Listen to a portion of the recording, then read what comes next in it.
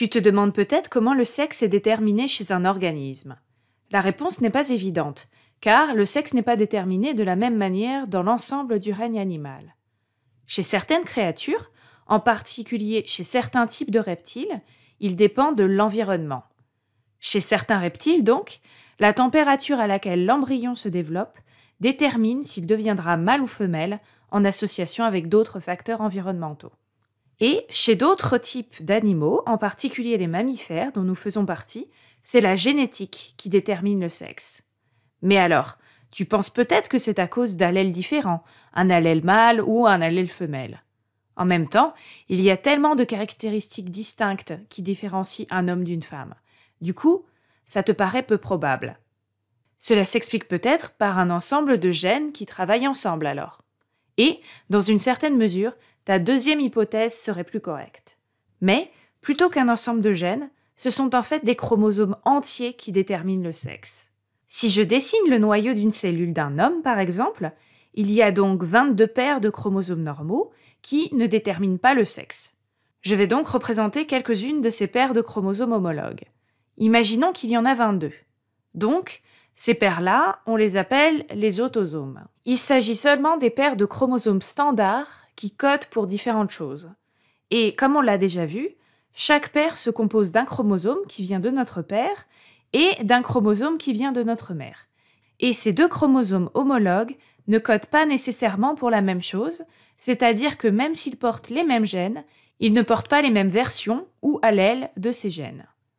Si la couleur des yeux se trouve sur ce gène, elle se trouve également sur ce gène de la paire homologue. Mais chaque chromosome peut porter une version différente du gène, de la couleur des yeux, et c'est ça qui détermine la couleur de tes yeux. Mais ici on parle de gènes standards, qui n'ont rien à voir avec notre sexe. Il existe deux autres chromosomes spéciaux. Un qui est long et l'autre qui est plus court et que je dessine en violet. Comme tu peux le remarquer, ces chromosomes n'ont pas l'air homologues. Peuvent-ils quand même coder la même chose alors que le chromosome violet est court et que le chromosome orange est plus long? Et tu as tout à fait raison, ils ne sont pas homologues. Il s'agit là de nos chromosomes sexuels. Le long, juste là, s'appelle le chromosome X, et le court se nomme le chromosome Y. Et pour déterminer si quelque chose est mâle ou femelle, le système est assez simple. Si tu as un chromosome Y, tu es un homme. Donc, le noyau que j'ai dessiné juste ici et qui est bien sûr enfermé dans une cellule, c'est celui d'un homme. Donc, si tu as un chromosome X, et on verra dans une seconde pourquoi tu ne peux l'obtenir que de ta mère, donc si tu as un chromosome X de ta mère et un chromosome Y de ton père, tu es un homme. Si tu reçois un chromosome X de ta mère et un autre chromosome X de ton père, tu es alors une femme. Je vais dessiner un échiquier de punettes pour visualiser les différentes possibilités. Si on regarde les chromosomes sexuels, le génotype de ta mère comprend deux chromosomes X. C'est ce qui fait d'elle ta mère et pas ton père. Et puis, ton père a un chromosome X et un chromosome Y. Quels sont les génotypes possibles pour leurs enfants, du coup? Eh bien, ta mère peut léguer ce chromosome X en association avec le chromosome X de ton père, ce qui donne une fille. Ta mère peut aussi donner son autre chromosome X, toujours avec le chromosome X de ton père, et on a encore une fille. Finalement, ta mère va toujours donner un chromosome X. Et ensuite, ton père peut donner soit un chromosome X, soit un Y. Donc dans ce cas, ce sera le chromosome Y. Donc ces enfants-là sont des filles et ceux-là sont des garçons. Et la nature fait bien les choses car la moitié des enfants sont de sexe féminin et l'autre moitié est de sexe masculin. Mais quand on y pense, c'est assez ironique. Qui, à ton avis, détermine le sexe des enfants? Est-ce la mère ou bien le père? Eh bien, la mère donne toujours un chromosome X. Donc, le contenu génétique haploïde des gamètes de la mère, c'est-à-dire de ses ovules, ne peut en aucun cas déterminer le sexe de l'enfant. Tout dépend du père. Le père produit beaucoup de spermatozoïdes qui tentent tous d'atteindre l'ovule avant les autres. Certains d'entre eux transportent un chromosome X et d'autres un chromosome Y. Évidemment, si ce petit gars, ou devrais-je dire cette fille, ici, gagne la course, alors l'ovule fécondé deviendra une femme. Par contre, si ce spermatozoïde gagne la course, alors l'ovule fécondé deviendra un homme. Et c'est ironique quand on étudie l'histoire, et notamment le cas d'Henri VIII. Bien sûr, cela ne concerne pas que les rois, parce que la plupart de notre civilisation est dominée par les hommes. Mais certains hommes sont obsédés par l'idée d'avoir un héritier masculin pour faire perdurer le nom de la famille. Et dans le cas d'Henri VIII, c'était pour prendre le contrôle d'un pays.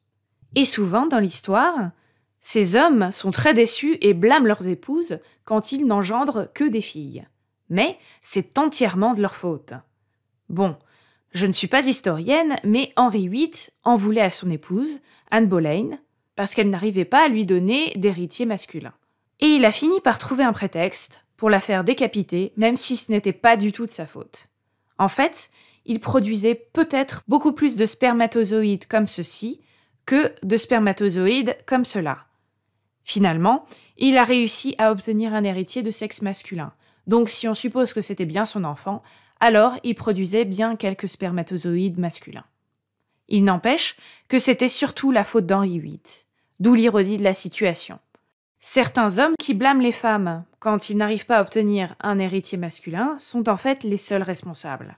Maintenant, tu te demandes peut-être si tout ce qui figure sur les chromosomes sexuels détermine uniquement les traits liés à notre sexe. Alors, laisse-moi dessiner quelques chromosomes. Disons que ici c'est un chromosome X et là un chromosome Y. Le chromosome X code pour beaucoup plus de choses, bien qu'il soit connu pour porter peu de gènes. Actuellement, on estime qu'il contient environ 840 gènes. Et le chromosome Y, qui est plus court, possède environ 60 gènes, donc encore moins que tous les autres chromosomes. Cela indique que le chromosome Y ne fait pas grand-chose d'autre que de déterminer le sexe. En fait, il porte le gène SRY, qui joue un rôle dans le développement des testicules ou de l'organe sexuel masculin. Donc, si tu as un Y, ce gène juste là code pour des choses qui conduisent éventuellement au développement des testicules. Et si tu ne l'as pas, ça n'arrivera pas, donc tu seras une femme. Bon, ici je simplifie vraiment les choses à l'extrême. Mais cela joue clairement un rôle dans la détermination du sexe. Bien sûr, il y a d'autres traits qui dépendent de ces chromosomes. C'est le cas de maladies spécifiques, comme le daltonisme, qui altère la vision des couleurs, notamment celle du jaune et du, euh, du vert et du rouge, et l'hémophilie qui entraîne des problèmes de coagulation du sang. Et ces deux maladies sont dues à des mutations sur le chromosome X. Et ce sont des mutations récessives. Qu'est-ce que cela veut dire? Prenons le cas de l'hémophilie. Cela signifie que les deux chromosomes X doivent avoir la version mutée ou l'allèle du gène responsable de l'hémophilie pour que le phénotype malade s'exprime. Par exemple, Voici le génotype d'une femme. Elle a un chromosome X normal et un chromosome X qui porte l'allèle hémophile. Je vais donc noter un petit H pour l'allèle hémophile. On dit qu'elle est porteuse parce que son phénotype n'est pas celui d'une personne hémophile, car elle ne présente aucun problème de coagulation sanguine.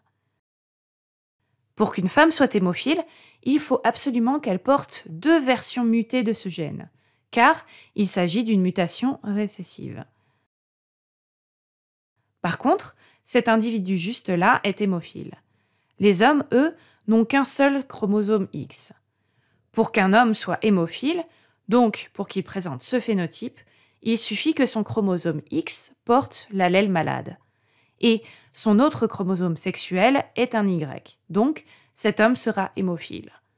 Disons que c'est une mutation relativement peu fréquente qui se produit sur le chromosome X. Qui a le plus de chances d'être hémophile? Un homme ou une femme?